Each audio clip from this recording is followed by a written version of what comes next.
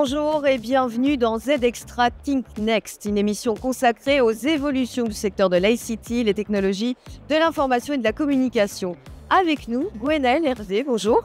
Bonjour Vanessa. Alors, avec nous aussi, vous voyez, Gwenelle, j'ai amené un ami, un co-présentateur. Il s'agit de Boogie. Bonjour Boogie. Alors, merci Boogie, c'est très gentil d'être avec nous aujourd'hui.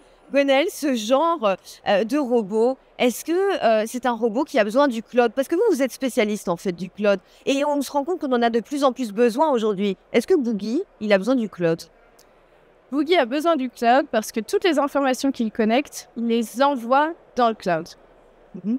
Alors justement, c'est quoi le cloud Pour ceux qui est peut-être rares, qui n'utilisent pas encore le cloud, en quoi ça consiste le cloud Alors le cloud, c'est l'accès à des ressources informatiques à distance, tout simplement, via Internet. Et il existe différents types de cloud aujourd'hui. Le cloud public, où justement ces ressources informatiques sont partagées entre plusieurs clients.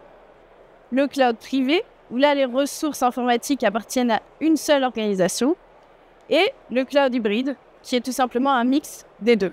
Il y a des tendances aussi en matière de cloud. C'est comme dans la mode, il y a des tendances. Donc c'est quoi le cloud le plus tendance pour l'instant? Alors oui, il y a des tendances dans le cloud. Tous les clouds sont tendances parce que globalement, on attend une très forte croissance du marché du cloud dans les années à venir. Mais dans le cloud lui-même, il y a différentes tendances qui peuvent s'identifier aujourd'hui. Typiquement, le multi-cloud. Donc vous parliez de la mode, on ne veut jamais avoir une seule marque dans son dressing. C'est la même chose pour le cloud on va avoir plusieurs vendeurs. Les clients aujourd'hui veulent avoir plusieurs fournisseurs cloud, ce qui leur donne une indépendance vis-à-vis du fournisseur.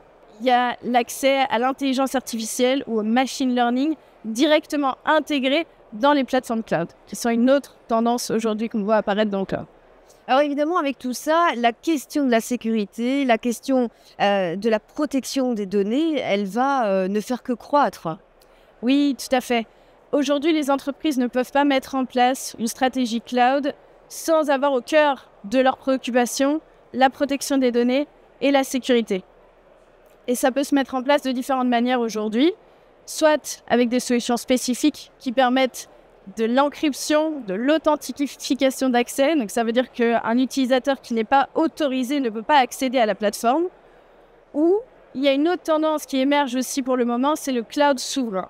Avec le cloud souverain, vraiment, on permet la protection des données directement dans le cloud, ce qui permet d'assurer que les données sont opérées par des citoyens européens, hébergés en Europe, et qu'aucun tiers non autorisé ne peut accéder à ces informations. C'est aussi un véritable outil d'innovation, en fait, ce cloud. Alors, comment est-ce qu'on fait justement pour encourager euh, chez Proximus Next les entreprises dans cette voie de l'innovation?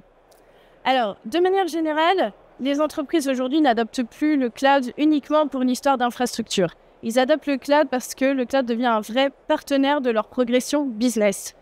Parce que le cloud permet la flexibilité, donc il accompagne les entreprises. Une entreprise a une nouvelle idée et les ressources sont disponibles à la demande.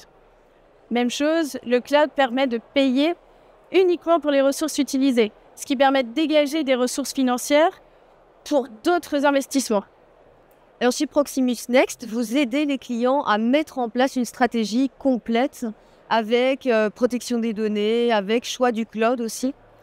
Oui, effectivement. Innovation et protection sont au cœur des défis cloud de nos clients aujourd'hui. Et nous souhaitons transformer ces défis en avantages concurrentiels. Et ça, Proximus Next le fait en proposant des solutions de conseil neutres afin que le client puisse adopter la solution cloud qui correspond le mieux à ses besoins. Nous le réalisons également en collaborant avec ses clients et avec les acteurs technologiques pour que le client puisse grandir et développer son business. Merci beaucoup, Gwenelle Hervé. Et puis, je veux aussi te remercier, euh, Bougui. Merci d'être euh, venu euh, avec nous. Est-ce que tu salues nos téléspectateurs? Voilà, on va vous saluer tous ensemble. Merci euh, de nous avoir suivis et on se retrouve euh, bientôt pour un nouveau Z Extra Think Next.